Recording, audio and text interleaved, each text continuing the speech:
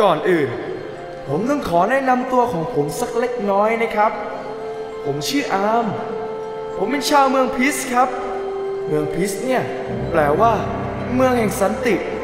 เมืองของพวกเราอยู่กันอย่างมีความสุข เราทุกคนเชื่อในพระเยซูคริสต์ผู้ทรงเป็นพระเจ้า ความสนุกสนานตลบอบอวลอยู่ในเมืองของเรา โดยเฉพาะในวันคริสต์มาส วันคริสต์มาสเป็นวันที่พวกเราชาวเมืองพิสรอคอยด้วยใจจดจ่อ แต่แล้วเรื่องราววุ่นๆกำลังจะเกิดขึ้นในเมืองของเรา คุณผู้ชมอย่าเพิ่งหนีพวกเราไปไหนล่ะ รับรองได้ว่า สนุกสนานอย่างแน่นอนฟันธงก่อนสิ่งอื่นใด ผมอยากจะขอแนะนำให้คุณได้รู้จักกับชาวเมืองพิส เมืองพิสเนี่ยมีทั้งเด็กๆที่น่ารักทุกๆคน และผู้ใหญ่เมืองพิส ก็ยังใจดีทุกๆคนด้วย เอาเป็นว่าเราไปฟังเสียงของพวกเขากันดีกว่าครับ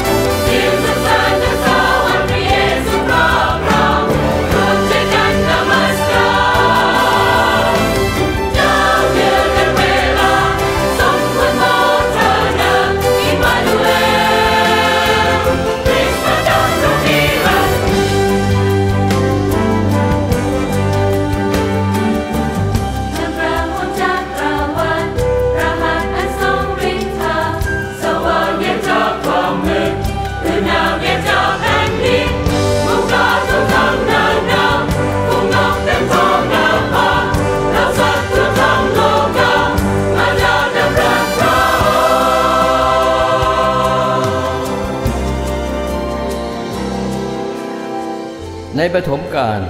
พระเจ้าทรงเนรมิตสร้างฟ้าและแผ่นดิน เมื่อพระเจ้าทรงสร้างชายหญิงคู่แรก ทรงตั้งชื่อว่าอาดัมและเอวา เขาทั้งสองได้ฝ่าฝืนพระบัญญัติของพระเจ้าทำให้ความบาปได้แยกเขาทั้งสองออกไปจากพระเจ้าผู้บริสุทธิ์ และความบาปได้แทรกซึมไปยังมวลมนุษย์ทุกคน พระเจ้าทรงทราบดีว่ามนุษย์ ไม่อาจจะเอาชนะความบาปนั้นได้ จึงส่งพระบุตรองค์เดียวของพระองค์ เสด็จลงมาเพื่อช่วยพวกเรา ดังคำทำนายที่ว่าดูเถิด หญิงพรหมจารีคนหนึ่งจะตั้งครรภ์และคลอดบุตรชายคนหนึ่งและเขาจะเรียกนามของท่านว่า อิมมานูเอล แปลว่า พระเจ้าทรงอยู่กับเรา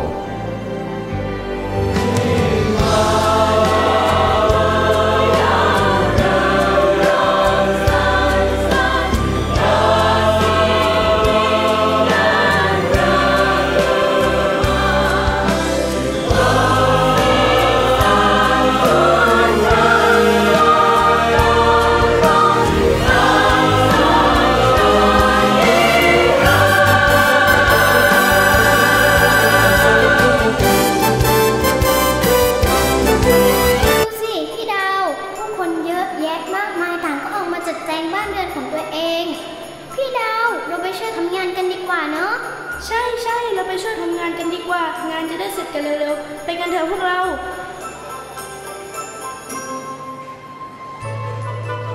อ้าวเจ๊หมวยอย่าอู้งานสิ รู้สึกว่านั่งจัดมุมนี้อยู่ตั้งนานแล้วนะหูยเปล่าอู้นะเธอรู้หรือเปล่าว่าเนี่ยคือสิ่งที่สำคัญที่สุดสำหรับคริสต์มาสใช่นะอุ้ยอ้าวแล้ว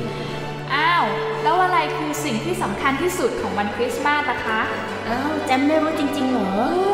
เรื่องมันค่อนข้างจะซับซ้อนอยู่ซะหน่อยนะเล่าให้ฟังหน่อยสิอยากฟังอยากฟัง เอาเป็นว่าในมังคริสของเราเนี่ยมีตำนานเล่าต่อๆกันมา อยากรู้ใช่ไหมล่ะ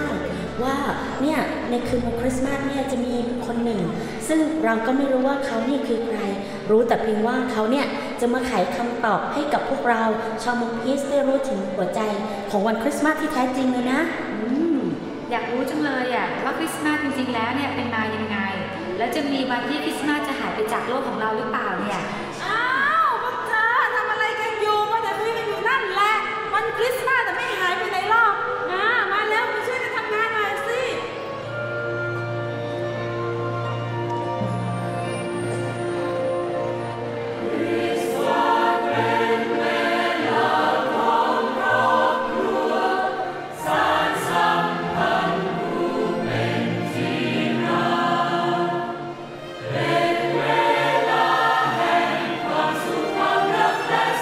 Lord.